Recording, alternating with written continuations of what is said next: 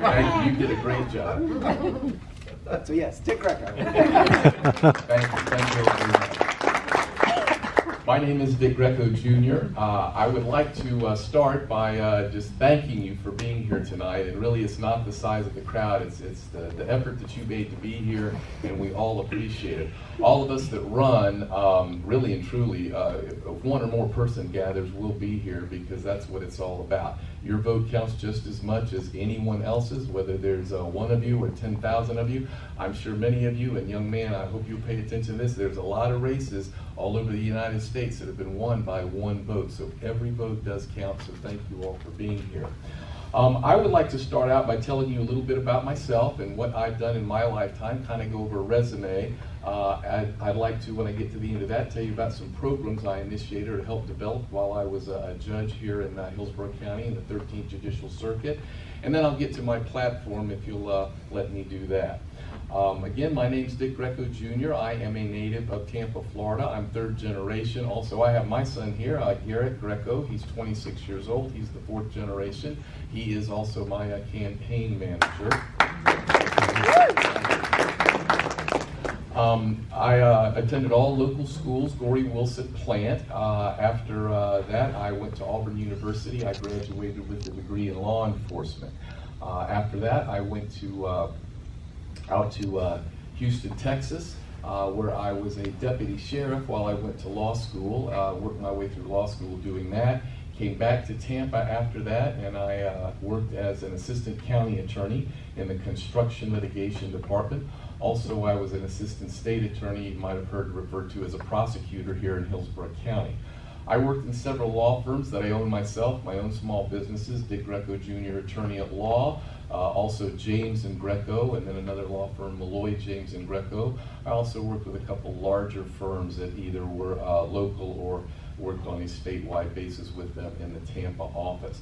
But most of my adult and working life was spent as a judge here in Hillsborough County, either on the county court bench or the circuit court bench, or I was also called and was a senior judge here. Um, a senior judge could be compared to something like a substitute teacher. What happens is um, sometimes, and you can imagine the size of the court dockets, a judge uh, becomes ill or something happens and she or he cannot perform that day, well, rather than send everyone home and have them come back, and most of you have ever been to court, sometimes missing a court date is kind of like missing a doctor's appointment. You got to wait three more months to come back. So they'll call in a senior judge who's certified by the Supreme Court of Florida to come in and hear the cases, and you can do that from uh, anywhere in the state, from Pensacola all the way down to Key West up to uh, Jacksonville. But a couple of the programs that uh, I handled while I was there, and, and, while I was on the bench, I was uh, presiding over criminal divisions, also presided over civil divisions, small claim divisions, uh, family law divisions, probate divisions, and domestic violence divisions.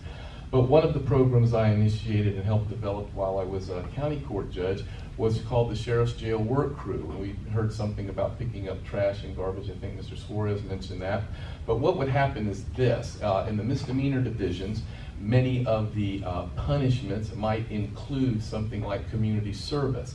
Uh, misdemeanors are crimes punishable by uh, county jail time, less than one year. If it's over a year, you go to the state prison and then it's a felony. But what we did was we got together and we decided could there be a way that we could have people actually work in community service.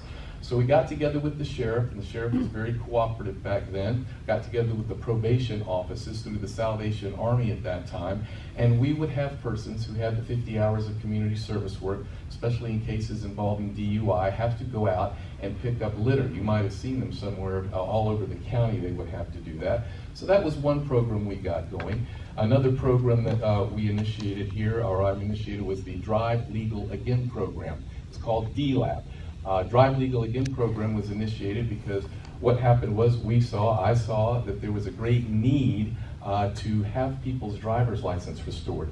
Not people who had their license suspended because of a crime they had necessarily committed. In other words, not because it was suspended because of a DUI or because they had been driving recklessly, etc but their licenses were suspended because possibly they got a speeding ticket, which the minimum at that time, the minimum was $157, and they couldn't pay that. And of course, you know, if you can't pay your traffic ticket, what will happen then is your license gets suspended. And a lot of people don't know this. You get three driving license suspended charges in the state of Florida, your license then gets revoked for five years, which becomes even a uh, higher crime.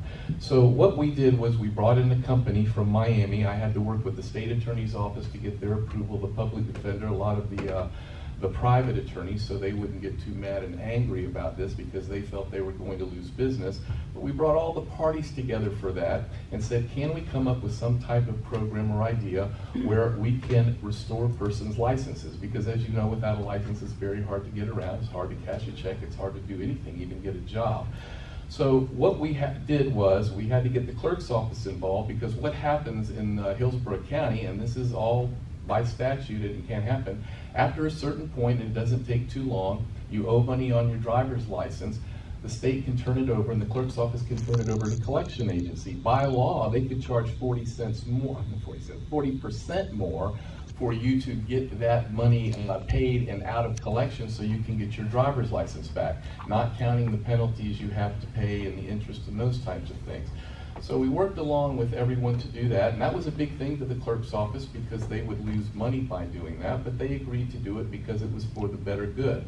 So we worked out a program where persons could get their licenses or what they owed back to something normal, go through a payoff system so that they could get their license back so they could go to work, have their license, and pay off what they owed over a period of time. Um, the other program that I initiated and uh, developed here was the uh, homeless initiative. What we found was in the city of Tampa, um, we were having an inordinate amount of homeless persons who were being arrested, lawfully so, but for very minor type crimes. Most of these people didn't have bail money. They could not get out of jail, but it would be things like sleeping on a park bench or uh, you know eating on the streets or doing things that uh, soliciting on the highways. Perhaps you've seen some of them doing those types of things, stepping in traffic. So they get arrested for these minor type crimes, be taken to the Hillsborough County Jail. Bail would be set very, very low, sometimes even $25, and they could not get out of jail. So we got the powers to be together again and tried to work out a program. And what would happen is this, we would have uh, a homeless initiative court, because most of these people were homeless, uh, and what would happen is they would come into court. We uh, worked along with Veterans Affairs, we worked along with uh, the Sheriff's Office, we worked along with Tampa Police Department, the City Attorney's Office. We would have these persons come in, if they would agree to try to get some help from these various agencies, if uh, uh, you know they qualified, then we would let them leave the courtroom. We would let them come back in approximately 30 days when we would do that court docket again. If they had come back and they had tried to get some help through these various agencies and they had not committed another crime, even a minor one, we would dismiss the case against them. The city attorney's office would dismiss the case. I would get down off the bench. We'd come down and put my arm around them, and uh, we'd take a photo, and everyone would clap for them because they successfully completed. We had a large board, and we would place their picture up on the board. And we reduced the recidivism rate for a lot of those cases by about 50%, which was uh, really uh, an outstanding uh, number. And probably one of the most outstanding things there is Homeless people probably showed up in court in greater numbers than persons like you and me, which I never could understand uh, how, how they would come to court, but they did. So we were successful in those types of programs. Um, I'd like to go into a little bit now of my own um, um, platform. I too have three uh, words that I use. The first is congestion, the second is infrastructure, and the third is one I see that's on the church signs here and the one outside, and it's connected. Um, of course, this one's connecting, but outside it does say get connected. So start with uh, the first one, congestion. Congestion, I think, takes in everything that we talk about with transportation, et cetera. I think all of us can see that is probably the most obvious problem and issue that we have in the city of Tampa county of Hillsborough and basically our region as a whole if we drive around. I think all of us understand that there's going to be some traffic congestion at certain times and there's probably not a whole lot we can do about that early in the mornings or later in the afternoons during the morning and afternoon rush hours. But it seems to me that there's an inordinate amount of congestion at all types of inordinate times uh, during the day. So that is my first word that I uh, have in my platform. And again, it covers everything, transportation and those types of things. Uh, a lot of things you hear about here, you can ask questions about tonight. Some people have plans, even the government has a plan called the 2040 plan to try to address some of these issues. My second word I use is infrastructure. Infrastructure is everything the city uh, has maintenance or ownership above and below the ground. Some of it you can't see. Some of our pipes uh, for water, for sewer, for storm water. Um, then above ground, of course, we have beaches, we have parks, we have uh, sidewalks, and we have roads. Anything that we have uh, that the city owns and has to maintain generally is our infrastructure. But my most important word is connected. Okay, and connected. Uh, by that I mean I feel that the city, and the most important thing the mayor can do, is get connected back first with our neighborhoods. In other words, I think everyone here, those of you in this room and in every neighborhood, before we start talking about all these plans that we're going to do, we need to get back with the people in the neighborhoods and talk to them about those plans and or make sure and see what they want, what they need, what they should have they need to feel that they are connected with the city, that they're not being ignored, that they're not being disenfranchised, that their thoughts, their ideas are being listened to.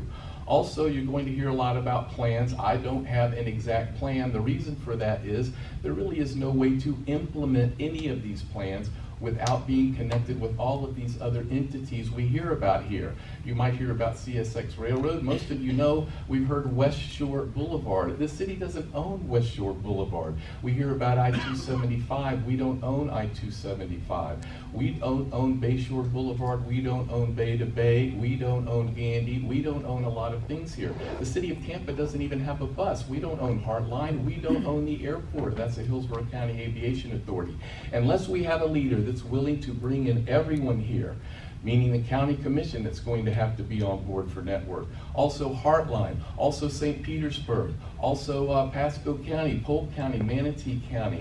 Nothing will get done. We can't cross these roads on our own, so we need a mayor, a strong mayor who will come in, not as a dictator, but someone who can communicate, someone who can get everyone to the table, get people to compromise, to decide what we're going to do and what would be best for our community. That's what I'm all about. Connection, that's the biggest thing I feel with not only the neighborhoods, but all of these entities, including things like the school board. Schools are very important. The mayor is not the superintendent of schools. The mayor is not uh, even on the school board, but the mayor needs to use the mayor's office as a bully pulpit to say how important education is. It reduces crime when you have a good education system. It's great for the economy. It provides jobs, and not just for our uh, elementary, for our middle, and for our high schools, but we have schools of higher education here, but also our technical schools. We need to work along with private industry so that we can have mentorships and internships. So persons who wish to proceed uh, uh, to uh, engage in those types of technical careers are able to do that also. So Dick Greco Jr., I'd be happy to answer any questions that you have tonight. I ask for your vote on March 5th. Thank you very much. Okay, so now, do you guys